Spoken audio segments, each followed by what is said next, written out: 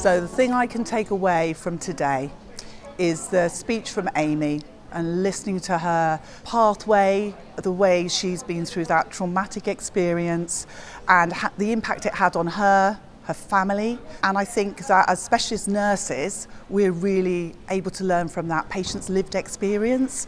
So it, it was absolutely inspirational.